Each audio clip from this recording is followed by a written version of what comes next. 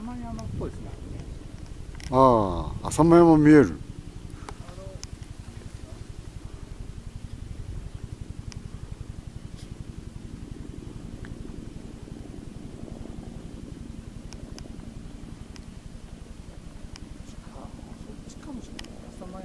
八つ。こ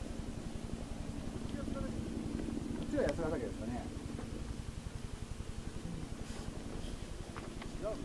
赤岳がねパピョーンととんがって見えるんですよ。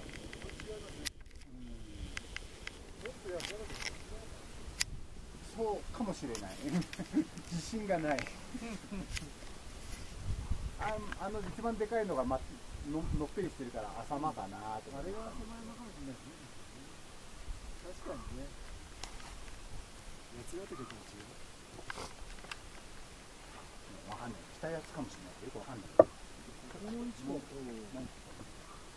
うん、そうだね。こっち北の方ですね、どっちかっていうと。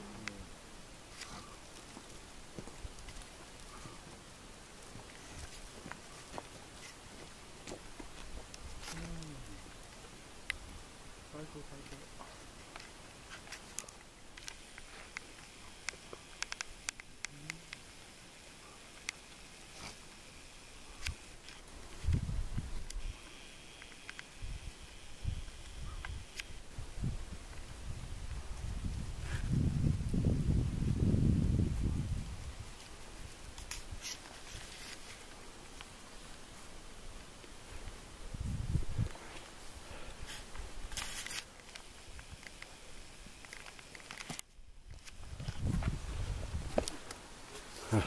じゃあ写真でも撮る。